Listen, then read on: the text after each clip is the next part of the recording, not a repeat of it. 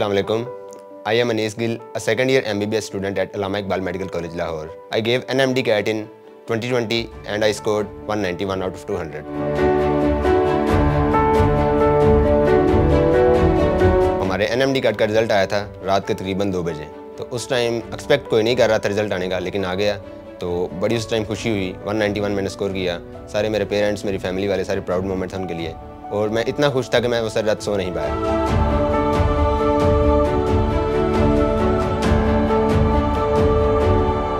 M D के start के दिनों में मुझे ये प्रॉब्लम फेस करनी पड़ रही थी कि एक तो बच्चे इतने ज़्यादा।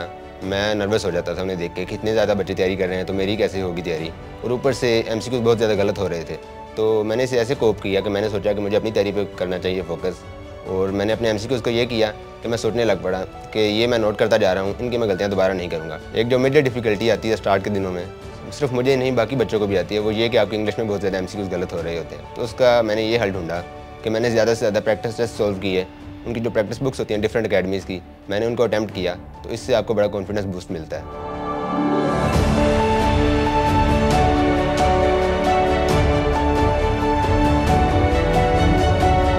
स्टूडेंट्स को जो मेजर डिफिकल्टी आती है एम डी कैट में, तैयारी तकरीबन सारे बच्चे ही कर लेते हैं, लेकिन जो मेजर चीज़ आपको देखनी होती है कि एक तो आपने कॉन्फिडेंट रहना है कि मेरा एडमिशन हो जाएगा, और दूसरा आपने ओवर कॉन्फिडेंस से भी बचना है, क्योंकि मार्जिन फॉर एरर बहुत कम होता है एन एम कैट में।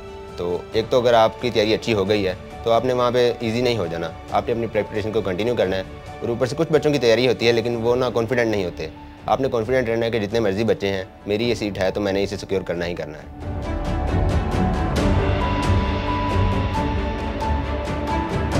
एन एम डी कैट की रिवीजन के टाइम जो आपको मेजर इशू आता है कि आपने रिवाइज कैसे करना है। तो इसके लिए मैंने ये किया था कि मैंने मल्टीपल अकेडमीज़ के जो पी डी एफ़ थे टेस्ट वो मैंने उनके ले लेता था और उन्हें अटैम्प्ट करता था। तो टाइम कम होता है, जैसे आप सबको पता है एंड वाले दिनों में तो ऐसे होता था कि मैं ना फिजिक्स इन सेकंड्स की वीडियोस देखता था, दो दो, तीन तीन मिनट की वीडियोस हैं, और वो आपको एक टॉपिक बड़ा अच्छे से करवा देते हैं। तो उसका मुझे मुझे ना बड़ा एज मिला।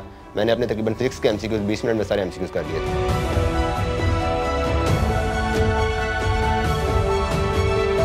लास्ट मंथ्स और लास्ट डेज़ का ऐसे होता है कि आपको अपनी ना प्रिपरेशन को बिल्कुल कंटिन्यू रखना पड़ता है। आप ये नहीं कर सकते कि बिल्कुल ही आप फ़ौरन से कर दें, फ़ौरन से कुछ नहीं होता टाइम लगता है आपको। तो आप टारगेट सेट करेंगे मैंने चार दिन में एक रिवीजन देनी है, सारे सब्जेक्ट सारे सिलेबस को पाँच दिन में देनी है।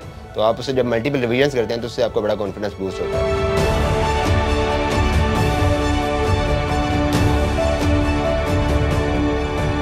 टेस्ट के टाइम मेरी ये रूटीन होती थी कि मैंने सोचा हुआ था कि मैंने टेस्ट से तकरीबन 24 घंटे पहले या 18 घंटे पहले मैंने पढ़ना छोड़ देना है। तो मैंने बुक को एक साइड पे रख दिया। मुझे अपनी प्रिपरेशन पे बिलीव था। सुबह उठें आप, नमाज़ पढ़ें अपनी। अम्मी अबू से दुआएँ लें आप और आप टेस्ट अटैम्प्ट कर रहे हैं। एन एम डी करके आप तैयारी कर रहे हों या फिर एग्ज़ाम सेंटर में बैठ के एग्ज़ाम दे रहे हों तो हमेशा आपके बैक ऑफ़ द माइंड ये चीज़ चल रही हो कि मैं ये सीट सिक्योर करने आया हूँ और मैं ये करके जाऊँगा। और इसमें सबसे इंपॉर्टेंट फैक्टर है टाइम मैनेजमेंट तो आपने देखना है जब आप तैयारी कर रहे हो तो आप एफ़ एल पी सोल्व करते हुए अपने लिए टारगेट सेट करें कि मैं ये पोर्शन इतने टाइम में करूँगा, ये पोर्शन इतने टाइम में करूँगा। और जब आप एन एम डी टिकट दे रहे हों तो तब भी आपने यही सोचना है कि मैं टाइम के अकॉर्डिंग जा रहा हूँ। मैं किसी भी पोर्शन अगर मुश्किल आ गया है तो मैं उस पर ज़्यादा टाइम ज़ाया नहीं करूँगा। मैं पहले ईजी करूँगा। इस तरह से आपको टाइम मैनेज करने में बहुत मदद होगी।